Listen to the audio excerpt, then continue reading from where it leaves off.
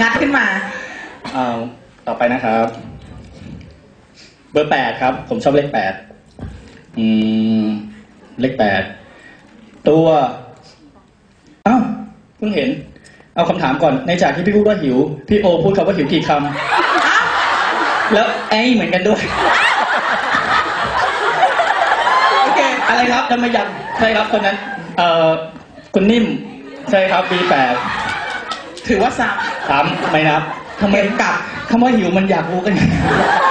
ทำไมก็คุณแบบ คุณทำหิวได้ดูไปว่าตอนนั้นเอออะไรนะครับ ขออีกรอบ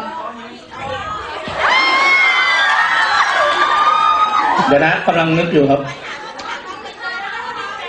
เสร็จยังอะครบทุกค่ายาถึงแม้ว่าใช้ถึง จำไม่ได้ครับยา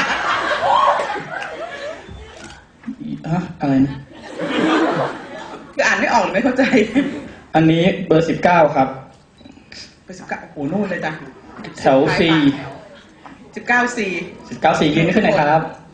สิบเก้าสี่เอาดูดูดูที่ป้ายห้อยคอนะจ๊ะใครสิบเก้าสี่เอาจิ้มกันอยู่แกนั่นแหละแกนั่นแหละดูป้ายด้วยสิยะอะไรอย่างอันนี้งี้เดี๋ยวคงต้องให้เขาอธิบายด้วยครับเขาเขียนไว้ว่า วันนี้พี่โอเยินยิงดักฮะอ๋ออ๋ออ๋อโอ้ยโทษโทษครับ โอรู้ละ เขาเขียนว่าเย็นยังใช่ไหมครับฮะอ๋อเย็นยังคะอ๋อน่าจะมีโปรเจคเตอร์นิดนึงจะวางให้ดูว่าขอโทษครับ ไม้แต่คูมันยาวนิดนึงใช่ครับโอเลยอ่านว่าวันนี้พี่โอเยินยิงดักโอก็เย็นงงยังคะไม่แนวเลยคุณขอโทษทีครับ วันนี้โออ่าก็เห็นขนาดนี้ก็เย็นใจมากต อนแรกครับ คิดอยู่นานมากว่าจะเปิดตัวยังไงใช่ไหมครับค่ะก็คิดคิดคิดปรากฏว่าคิดว่าข้างหลังเนี่ยมันจะมีประตูนะครับค่ะซึ่งถ้าเกิดว่าทุกคนไปเห็นที่โอนั่งอยู่นะครับ จะมีหมอน